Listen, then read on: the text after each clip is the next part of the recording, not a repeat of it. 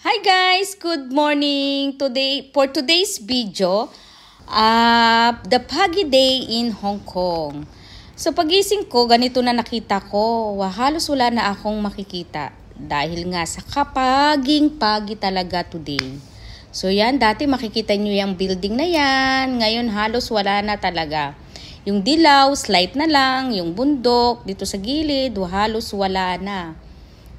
Yan, 'di ba? Grabe ang usok. Hindi yan usok ha, parang usok lang. Yan.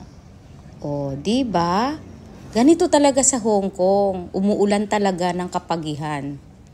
O, yan. Mamaya ipapakita ko din doon banda sa sa kwarto ko. As, lalo na, yan yan, ito, ito, bandang to, sa kwarto to halos wala ka na talaga makikita. Yung green, slight na lang. Yung bundok, slight na lang din. Pero banda-banda dyan, ito, ito, ito, ito banda-banda sa taas, halos wala ka na talagang makita. Yan ang pagi ngayon dito. Dito naman banda sa kusina, ang likot-likot ko kasi nga gusto ko ko siya makita. Doon banda sa baba, uh, slight lang din. Yan sa taas, yan dyan, peak yan dyan kung saan kami minsan namamasyal, uh, umaakyat sa bundok.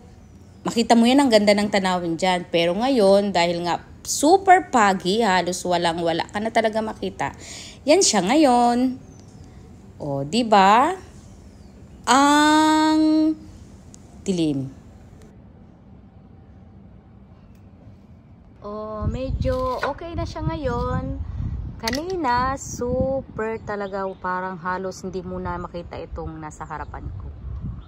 Oh, ngayon, natatanaw muna ng konti yung bundok at yun dun sa dulo na building.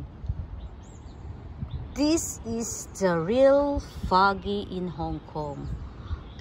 Feeling ko nga parang nasa langit na ba ako? Ay, maliwanag na doon, di ba? Kita mo na the difference before and after. So now, let's go to the other room. Dito sa side naman, yan. Nakikita na natin talaga medyo maliwanag na siya.